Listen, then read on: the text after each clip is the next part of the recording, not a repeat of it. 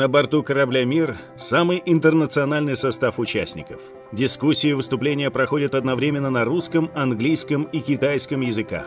Главное их мысли в эпоху глобализации – ни одной стране не выжить в одиночку.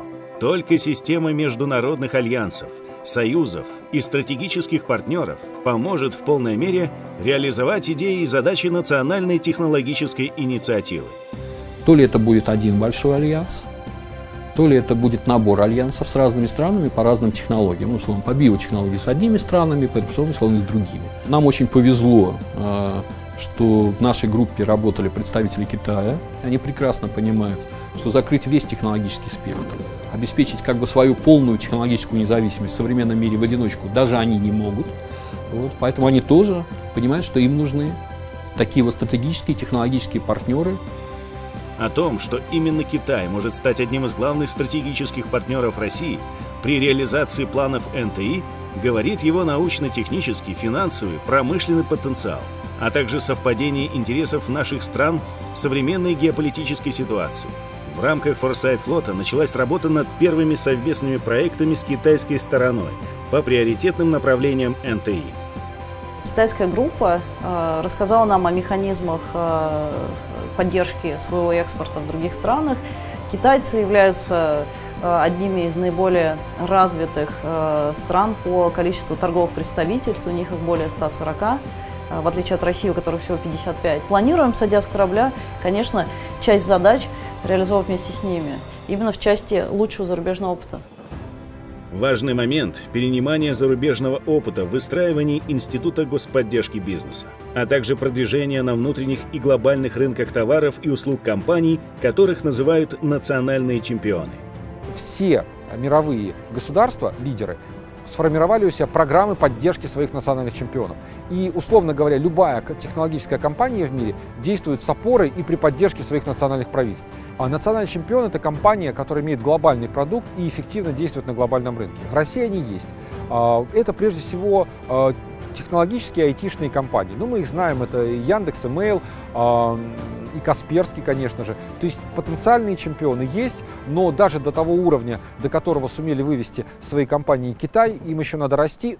Иностранные эксперты отмечали, что нашим компаниям надо сосредоточиться на тех областях инноваций, где уже сейчас есть прогресс и первые успехи.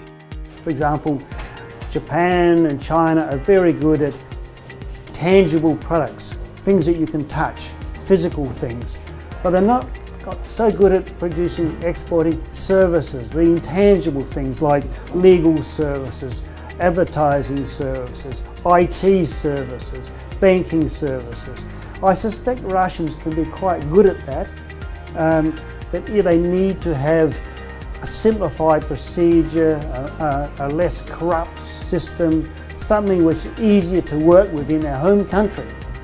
So if you become better users of services, producers of services in Russia, you'll become better at exporting services because you understand what the customer wants. The whole point is to uh, make sure that um, Russian science, which is uh, as strong as science is in any other country, um, achieves what it is capable of achieving in terms of translating uh, its discoveries, its inventions into products um, and you know, business opportunities around the world.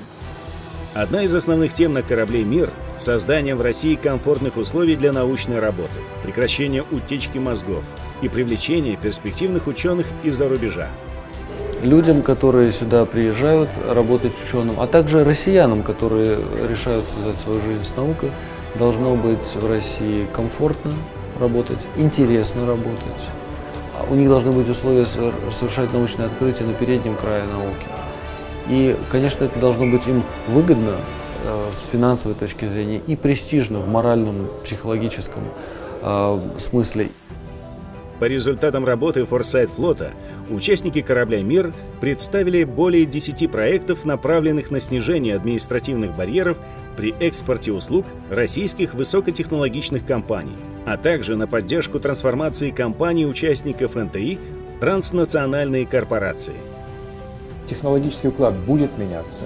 Мы видим какие-то кусочки этого уклада, продвижение в сфере биологии, генетики, э, информатики. Но если парадигма меняется, из одной парадигмы мы не можем увидеть другую, пока мы в нее не войдем. И в этом как раз и интерес того, что люди собираются здесь, обсудить это, помочь друг другу увидеть что-то в будущем, то, что каждый человек не видит, но коллективно мы можем увидеть. Проект международного корабля признан успешным, и не исключено, что в ближайшие годы новый фарватер Форсайт флота будет проложен уже не по Волге, а по великой китайской реке Янцзы.